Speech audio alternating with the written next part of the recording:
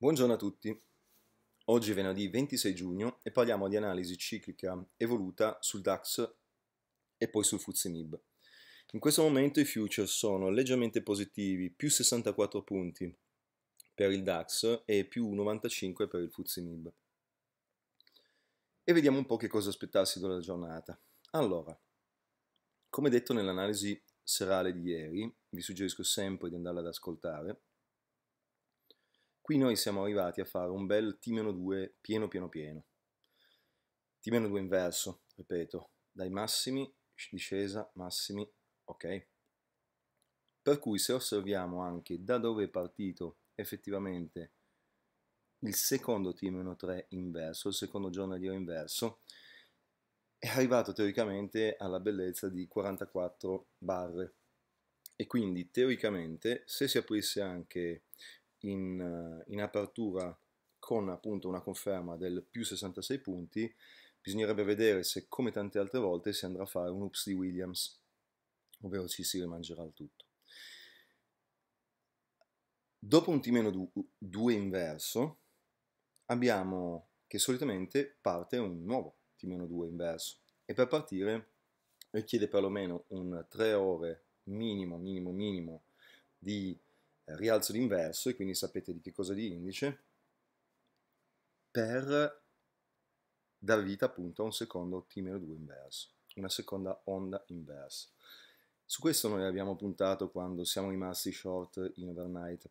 Vedremo se pagherà, anche perché il nostro prezzo non è distantissimo eh, da quello attuale e siamo disposti ad entrare con un secondo chip per un discorso di money management. Era una delle cose che avevo segnalato al gruppo di persone che mi da più tempo ha deciso di conferire più tempo all'analisi ciclica voluta per studiare con me i mercati, per essere coordinata e muoversi come, eh, anzi, muoversi osservando tutti insieme il mercato e quindi traendo da ogni spunto delle informazioni interessanti. Nel caso appunto partisse il nostro secondo T-2 inverso, ritorneremo verso questi livelli, verso i 12.100 orientativamente, e poi dovremo provare a spingere ancora più in basso. Ricordiamoci che, come vedete, siamo pieni di raccordi, quindi potrebbe esserci persino un raccordino prima di una partenza, ma ecco, sono sempre cose che purtroppo andiamo a vedere alla fine. Non possiamo per ora anticipare ma ci sto studiando sopra e quindi voglio, voglio trovare un modo appunto come un tempo facevo per raggiungere un obiettivo che ritengo estremamente interessante. Faccio notare, per carità, che qui abbiamo una divergenza ribassista, ma essendo già di medio periodo, non di brevissimo, non, non, non è non è la cosa da, da salvare. Bisognerà vedere effettivamente se questa regge rispetto all'apertura, se questo massimo a 12.346 regge rispetto all'apertura che avremo. Questo per quanto riguarda il nostro DAX. Per quanto riguarda il FTSE MIB, stesso identico ragionamento comunque.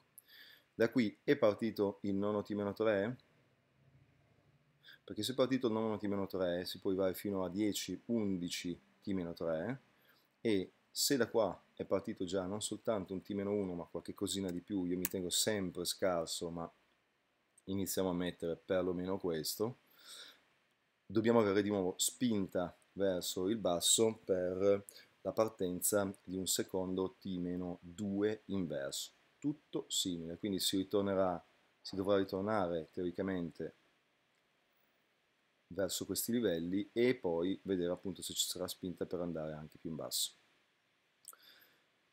Vi faccio vedere soltanto quest'ultimo grafico qui, ok, abbiamo che per ora tutto sembra corretto, primo ciclo a 11 barre di inverso, secondo che ha fatto 1-2 giorni già di ribasso e che dovrebbe continuare a dare spinta verso il basso teoricamente. Qui il T settimanale peraltro di indice è capiente, abbiamo ancora almeno due giorni al massimo di discesa, perché siamo arrivati al nono T-3. E poi può esserci appunto una, una ripartenza di T settimanale con conseguente ritracciamento del nostro T inverso. Questo è quanto.